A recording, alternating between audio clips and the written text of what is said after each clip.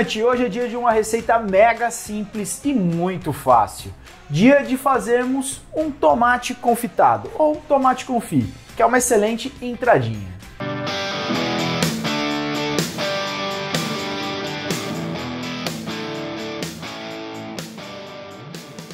E para fazer essa receita eu vou usar o tomate grape, mas você pode usar qualquer tomate pequenininho, que eles são melhores, eles são mais doces. Se você não encontrar isso daí, você pode usar um tomate maior, mas aí você dá uma cortada para deixar ele num tamanho menor ainda, tá? Eu vou fazer aqui, você pode usar tanto o tomate ele inteiro aqui, ou você vai cortando, que é o que eu prefiro fazer.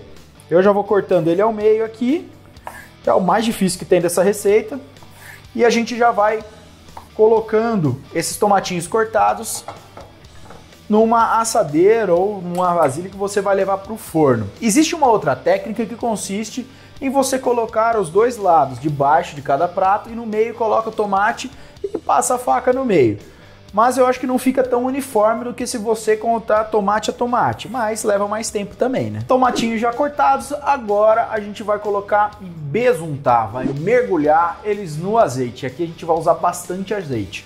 O que, que a gente quer aqui, ó, é que o tomate ele fique coberto. Não vai nem chegar a cobrir o tomate inteiro, porque se, é, ele vai soltar um pouco de água ao longo do cozimento dele.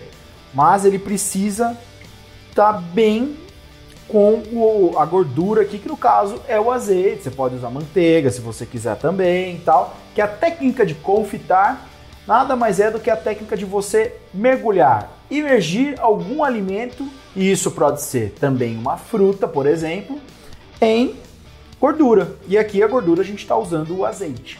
E aqui eu já terminei de colocar o azeite para você que está desesperado querendo saber das medidas, eu deixei na descrição, mas aqui eu estou utilizando 1 kg de tomate grape ou cereja, tal, tomatinho pequeno, e mais ou menos uns 300 ml de azeite, mas vai variar do tamanho da sua assadeira, do tamanho da sua vasilha, do seu marinex, como você colocar aqui. E eu vou colocar também alho, e aí você pode colocar bem rústico mesmo, vai jogando ele aqui. Eu tô colocando meia cabeça de alho porque eu gosto bastante de alho. Agora, se você não curtir, é só colocar menos ou até mesmo não colocar. Fica bem ao seu critério. E eu vou usar aqui também uma especiaria que no caso aqui eu estou utilizando o alecrim fresco, você pode usar ele desidratado tal, mas como eu tenho fresco, eu estou usando fresco aqui. Vou colocar também um pouquinho de, de páprica defumada, porque eu acho que vai dar um, um gosto defumado a esse confite que eu quero. E óbvio, para a gente finalizar, bastante sal. Para finalizar, estou colocando aqui a pimenta do reino.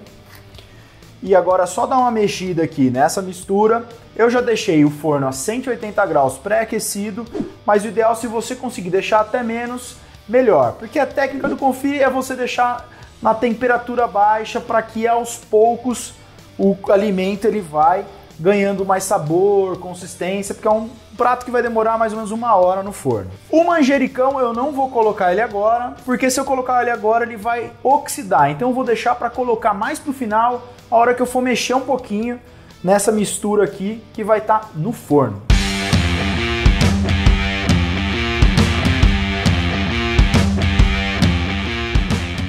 Cara, como eu dei uma provadinha aqui, vi que tá faltando um pouquinho de sal, vou colocar um pouquinho mais de sal.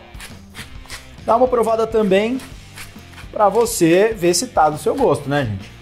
Agora eu vou colocar aqui. Para finalizar, vou colocar num taquinho de tapioca.